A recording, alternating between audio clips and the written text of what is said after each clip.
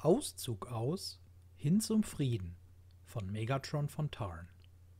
In einer Gesellschaft aufgebaut auf der großen cybertronischen Taxonomie, welche obsessiv geändert und neu interpretiert wird, ist das Einzige, was sich niemals ändert, was sich niemals ändern darf, das System selbst.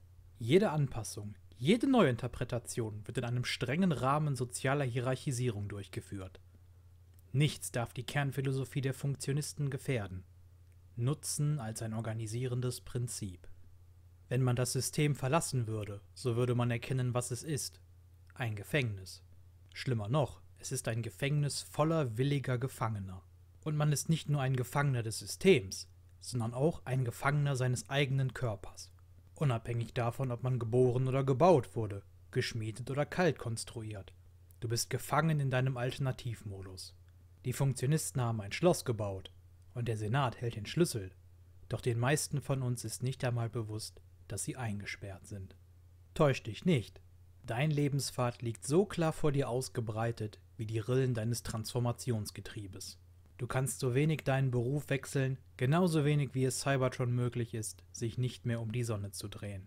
Du kannst dir genauso wenig Fertigkeiten aneignen, die nicht zu deinem Beruf passen, genauso wenig wie der Himmel ein Gewissen erlangen kann. Dadurch, dass wir einem verweigern, den eigenen Alternativmodus abzulehnen und einen behindern, einem Pfad zu folgen, den man selbst ausgewählt hat, behaupten der Senat und das Konzil, sie würden im besten Interesse eines jeden handeln. Sie sagen, sie haben eine Verantwortung, dass jeder das Beste aus seiner gottgegebenen Form macht. Wenn man zu einem Bohrer wird, so bedeutet dies, dass Primus weiß, dass Cybertron Bohrer braucht. Sich seiner Funktion zu widersetzen bedeutet, den göttlichen Zorn auf sich zu ziehen und die Welt in ihren Grundfesten zu erschüttern. In Wahrheit geht es um Kontrolle. Eine fähige Bevölkerung ist eine mächtige Bevölkerung.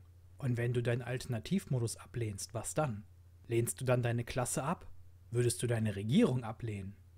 Die Funktionisten verlassen sich nicht nur auf die Theologie, wenn sie Argumente für einen Wechsel zurückweisen. Es sei verwirrend, außerhalb seines eigenen Alternativmodus zu arbeiten, sagen sie.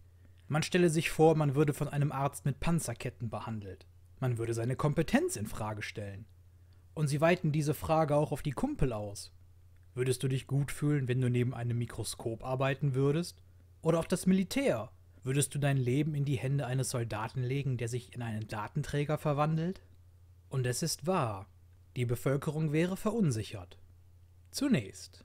Doch die Funktionisten, ermächtigt durch den Senat, haben Bedingungen geschaffen, welche zur Gründung dieser hinterfragenden Bewegung beigetragen haben. Und sie haben es bewusst getan, um den Status quo aufrechtzuerhalten. Überdies, um Spaltung zu fördern. Und Spaltung ist ein anderes Mittel, mit dem sie die Bevölkerung kontrollieren können.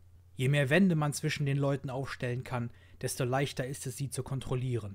Und so stärker wird die strukturelle Integrität des Systems. Und deshalb fragt man sich, wenn man einen Fremden trifft, nicht, wie ist er?